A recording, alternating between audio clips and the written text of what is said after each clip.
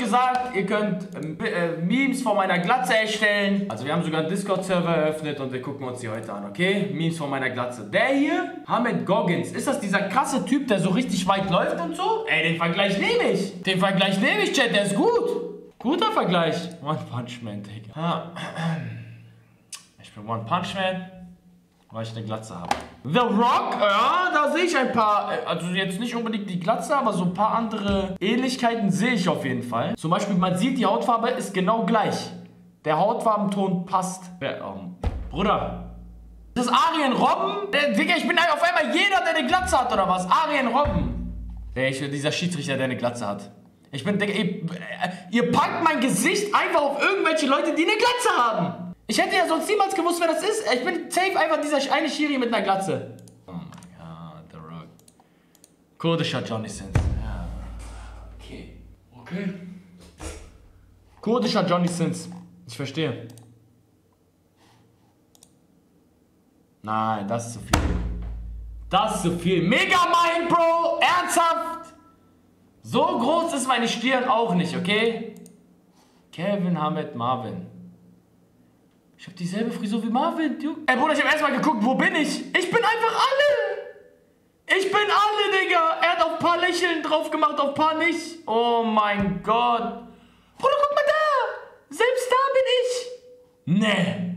Naja, da, erste Person, wo ich gar nicht weiß, wer das sein sollte. Hamed Tate.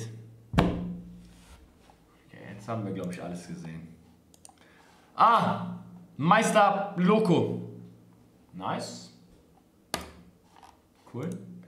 Sinedin Hamed. Digga, mit Z-Max, Digga. Oh mein Gott. Ah, das passt wenigstens. Dieser eine Glatzkopf, der der Frau einen Kuss gegeben hat. Oh, er schreibt auch noch Üst dazu. Nee. Bruder, das sieht echt scheiße aus. Was soll das? Shrek, okay, nice. Mit Kurdistan-Flagge. Und FIFA 21, warum auch immer.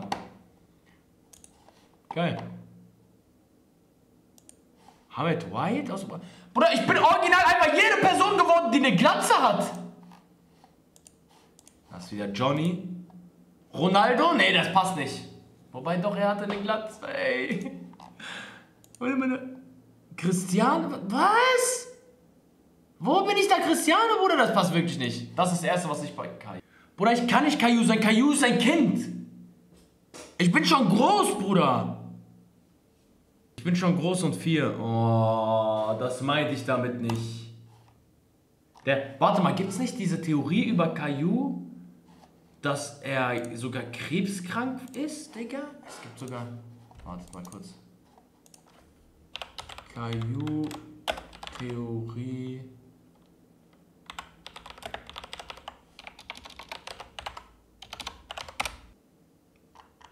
Die Theorien über Zeichentrick.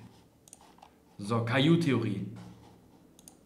Caillou leidet unter Krebs. Caillou können wir uns sicher noch alle erinnern und einige Sachen würden wir heute etwas komisch finden. Wie kommt es zum Beispiel, dass Caillou keine Haare hat, seine kleine Schwester Rosi dagegen schon und warum ist immer ein weißer Rand bei den Bildern zu sehen. Einer Theorie zufolge leidet der Junge unter Krebs und geht in der Geschichte durch eine Chemotherapie, weswegen seine Eltern auch immer so ruhig bleiben, da sie ihm das Leben so angenehm wie möglich machen wollen und Mitleid mit ihrem Sohn haben. Der weiße Rand könnte sich dann auch als Erinnerung auf das Leben erklären, die Caillou am Ende seines kurzen Lebens hat. Es könnte aber auch deshalb sein, weil die Großmutter ihren Enkelkindern von der tragischen Geschichte von Caillou erzählt. Auf Edition Chouette wird dagegen betont, dass es sich dabei um durchaus um ein gewöhnliches Kind handelt und die fehlenden Haare nur dem Wiedererkennungswert dienen sollen. Dennoch ist die Theorie durchaus plausibel, oder nicht? Das wird auch erklären, warum Rosie von dieser Geschichte erzählt und Caillou da gar nicht mehr so existiert, so ist, ich meine. Als Hitman habe ich Familie gehört. Ah, ich bin Vin Diesel da. Ich verstehe. Roberto Carlos auch. Ja, okay, Digga. Wer ist da? Ist das Johnny Sin? Bruder, reicht doch. Vegeta, das ist wenigstens cool. Mal keine Glatze. Ist das Caillou mit Argentinien-Trikot? Oh.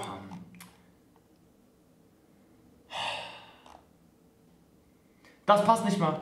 Kann nicht Hintergrund löschen wegen altes Handy. Nice. Geiles, Bruder, das war absolut, du hast dafür gesorgt, dass du rausgekickt wirst aus dem Discord. Ja, das war so ein schlechter Beitrag.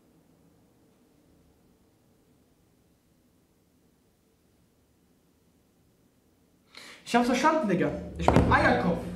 Ich bin ein Hund sogar. Ich bin Eierkopf. Ich bin. Ich bin, keine Ahnung, ich bin ein Ei. Ich bin der äh, Ding. Humpty Dumpty, Digga. Humpty Dumpty bin ich. Das, äh, boah, das ist wirklich einer zu viel jetzt, ja. Das ist zu viel. Wie soll ich mit dieser Glatze noch rumlaufen? Wenn man mir solche Vergleiche vor, vorzeigt. Humpty Dumpty. Was für Humpty Dumpty? Wie sehe keinen Unterschied? Was laberst du? Was für ich sehe keinen Unterschied natürlich. Da sind auch Ähnlichkeiten, ja. Aber da sind auch Unterschiede. Tut nicht so. Avatar! Oh mein Gott, Bruder, ja. Ihr habt mich doch komplett... Ey. Avatar? Ernsthaft? Ja.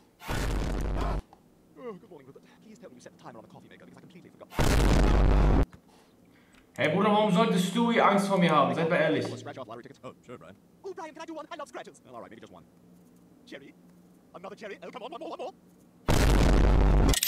Komplett übertrieben. Ihr habt aus einem Kurden Erdogan gemacht. Aber Bruder, ich kann, ich kann das nicht mehr. Ich kann das nicht mehr. Wo bin ich Avatar, Bruder? Wir gehen jetzt in die TikToks, die mich, äh, auf die ihr mich noch markiert habt. TikTok.com. Mit Luko hat Sammy verarscht. Oh nein, Bruder, guck mal wie Sammy mich auseinandernimmt, Digga. Er postet es sogar auf dem Rappler offiziell TikTok. Und Domateski mit dem ersten Prime-Song in seinem Leben, Bruder, ja? Sonst würde ich immer Danke sagen, aber jetzt, nein, nicht Danke. Warum jetzt gerade das erste Mal, Bruder?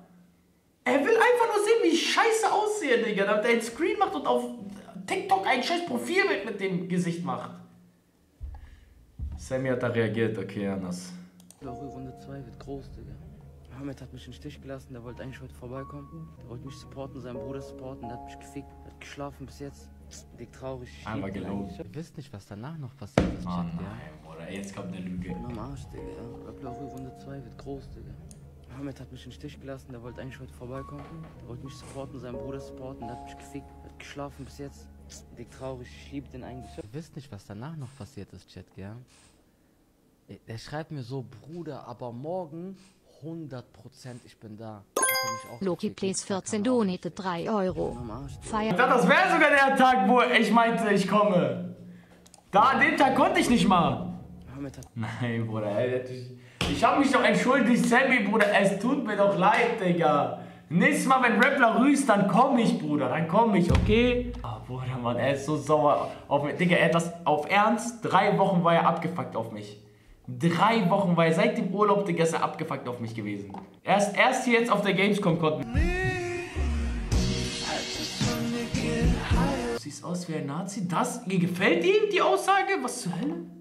Ich habe mich ganz normal dort beworben, wie jeder andere auch, und ich wurde angenommen. Nur angenommen werden reicht wohl nicht, wenn Philo um die Ecke kommt. Aber von vorne. Es gab wohl doch Drama auf der Gamescom. Und zwar hat Philo dafür gesorgt, dass Cisco nicht in den Red Bull Creator Bereich auf der Gamescom kommt. Oh. Weißt du, wer, wer sich beworben hat? Nee, wer? Cisco G. Ey, scheiß mir die Hose. Echt jetzt? Jo. Bitte sag mir, er wurde nicht angenommen. Wurde er angenommen? Er wurde initial angenommen, dann habe ich den Namen gelesen und dann wurde er abgelehnt. Cisco hatte sich für die Red Bull Launch ganz normal beworben und Philo hat vermutlich dafür gesorgt, dass er nicht mehr rein darf. Ja, und am Mittwoch, erster Tag der Gamescom, kommt dann plötzlich eine E-Mail. Nee, Digi, du bist raus. Du bist einfach abgelehnt. Laut Cisco war der Auslöser sein Verhalten bei einem Rust-Event vor einem Jahr. Laut ihm habe er das Team von Philo fair besiegt. Es könnte aber noch einen anderen Grund geben. Aufgrund der Tatsache, dass ich ähm, in GTA RP Leute überfahre und sinnlos zusammenschlage. Wie findet ihr die Aktion von Philo? Schreibt's mal in die Kommentare. Ja, ist krass. Ist krass, haben wir schon ein Statement dazu gemacht. Philo und wie sie da alle heißen. Ernster Drufsticker mit einem Gift-Sub. Nicht danke. Wir haben 70 Subs voll gemacht, aber respektlose 70 Subs, weil ihr einfach nur sehen wollt, wie ich hier einen Pfeil hab. Das einzige Gute ist, sind 11 Subs, 1500 Subs. Das ist das einzige Gute. daran. Denken, die hatten auf der Gamescom was zu melden? Monte meldet sich zu dem Gamescom Als ob Monte darauf reagiert hat. von Cisco und Philo. Das sind alles noch Kinder. Und ich hätte vermutlich auch in dem Alter vielleicht mich krass gefühlt, dass ich darüber die Macht habe. Falls ihr es nicht mitbekommen habt, Philo sorgte dafür, dass Cisco nicht in den Red Bull Creator Bereich auf der Gamescom durfte. Philo hat damit geprahlt, dass er entscheidet, wer in die Red Bull Area darf und wer nicht. Und hat sich damit vor anderen Leuten profiliert. Das habe ich auch schon bei Twitter gepostet. Jemanden, den man nicht mag oder eine Diskrepanz hat, auf sein eigenes Event nicht einzuladen, ist völlig okay. Jemanden aber auf einer öffentlichen Veranstaltung Steine in den Weg zu legen, etc., ist ziemlich uncool. No cap. Ah, schön gesagt. Ohne Spaß, schön gesagt. Monte recht? Schreibt's in die Kommentare. Dass ich nicht lache, Digga. Ihr kriegt alle Gamescom-Verbot. MXCK, M10, Mock M10, Digga, danke für dein Prime-Sub im ersten. Was ein Zufall, Digga. Ahmed gegen Rohat. Guck, scheiß auf meine Ex, sie ruft mich heute an, Mann. Schlafe nie wegen LOL! Hat er mich erstellt oder ist es einfach irgendein random Charakter bei WWE? Hat er mich erstellt? Hamed gegen Rohat. Guck, scheiß auf meine Ex, sie ruft mich heute an, Mann. Schlafe nie wegen Stream wieder. Erstellt, lol. Auf meine Mama, das ist klar, Mann. Warum habe ich Schlappen an? Hamed gegen Rohat. Er hat mich sogar passend mit Cap und so wie jetzt. Er hat mich schon gut gemacht, Digga, ohne Spaß. Und wie sieht Rohat aus? Hat er den Kampf auch? Zeig mal.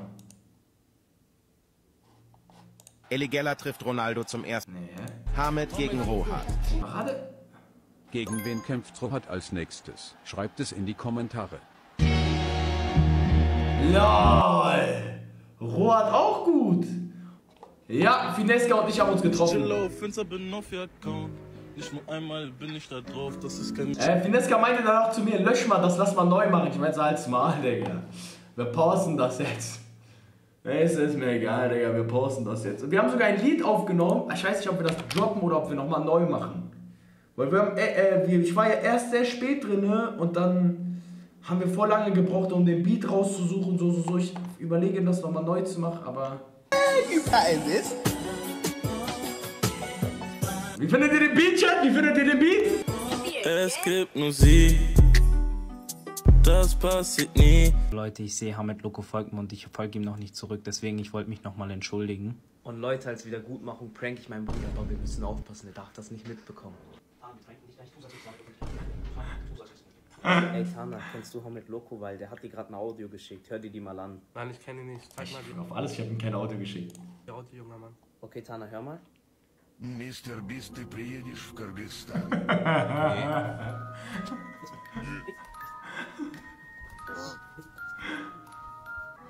Du Hund,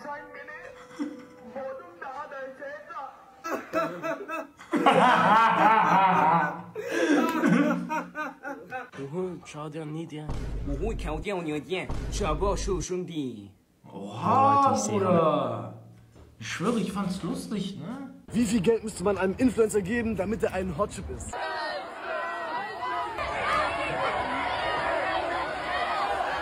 Phoebe, was geht? Alles gut? Moin. So sieht man sich wieder nach einem Jahr. Für wie viel Geld würdest du diesen Hotchip essen? 45 Euro. Bro, meine Frage an dich ist, wie viel Geld müsste man dir geben, dass du einen Hotchip isst? Taui. Das Ding ist, ich habe Angst, er hat voll viele Subs bei mir da gelassen. Ich habe Angst, dass er das wirklich macht. Na klar mach ich's wirklich. Du, du würdest 1000 geben? 1000 geben? Ja, dann nicht. Ach so. Alle hat rausgeschnitten den Rest. Danach haben wir uns geeinigt auf 2K Subs. Äh, auf 2K. Wo sind meine 2K V-Skills? Ich hätte heute schon gegessen. 2K. Er meinte so, ja, morgen, aber wir haben uns nicht gesehen. Müsste man dir geben, dass du ein Hotchip isst. Aber er ist korrekt. V-Skills ist korrekt. Ja, heute ist schwierig. Was geht, Sammy, Bruder? Löwe, wie viel Geld müsste man dir geben, dass du ein Hotchip isst? Ich habe aktuell eine Magenschleimhautentzündung. 5 Euro. nein, nein. 10.000 jetzt, ich esse ihn. Emily, was geht? Darf ich dich stören? Hi, ja, klar. Servus erstmal. Hi, Emily. Ich habe eine Frage an dich. Ja, bitte. Für wie viel Geld würdest du einen Hotchip essen? Für 10 Euro. Und wenn ich dir 1000 Euro geben würde? Würde ich es auch machen. Ja? Ja? Wie- Willst du ein Essen für 1000 Euro? Hast du 1000 Euro dabei? Ja. nein. Ohne Spaß. Gibst du mir jetzt 1000 Euro, wenn ich das esse? Ich gebe mal den Pyjama an. 1000 Euro du nicht. Oder wir geben mir 1000 Euro. Mann, ich will erst das Oh, Geld oder sie, sie hat, ich habe auch gesehen, sie hat den auch gegessen dann. Ich habe sie danach gesehen. Und sie meinte, sie hat 1000 Euro dafür bekommen. Dann meinte ich so, ich bekomme 2000. Dann war sie auf einmal sauer. Dann habe ich aber die 2000 nicht bekommen, leider, ja. Also äh, ich habe Faust jetzt nicht mehr gesehen. face reveal in the future. I showed myself in the past. It's not a secret how I look, but the last time I was showing my face on the internet is like half a year ago, and I think I want to not show my face again because I want to I want to keep my privacy for the future. I did a face operation, so no one knows how I look. They only know my old look. Now I have a dick nose.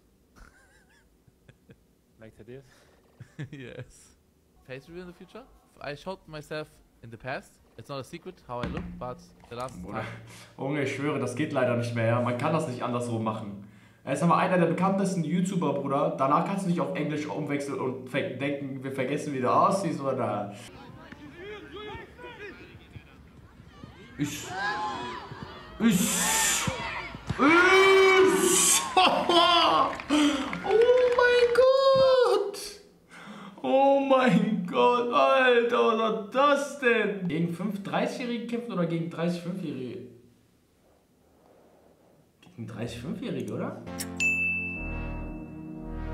Immer überarbeitet sein oder nie etwas zu tun haben.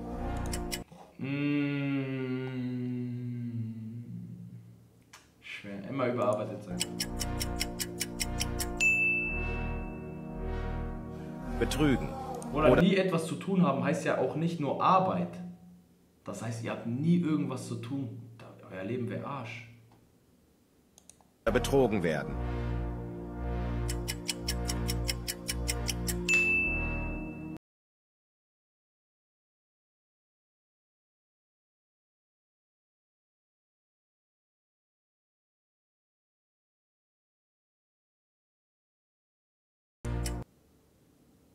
Heilung für Krebs.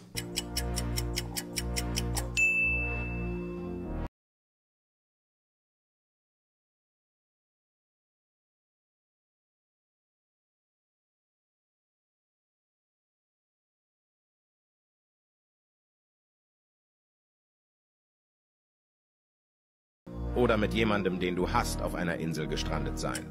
Mit jemandem, den ich hasse. Besser als gar keiner.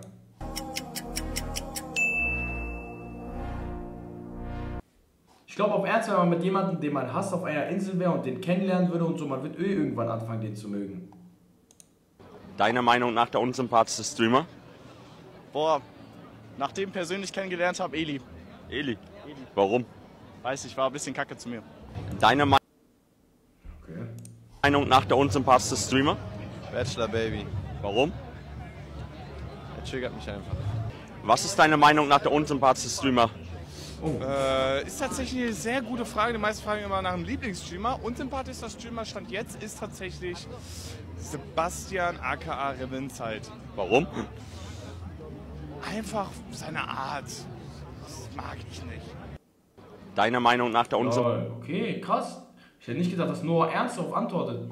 Den unsympathischen Streamer, den ich am unsympathischsten finde, ist. Äh, Reefed.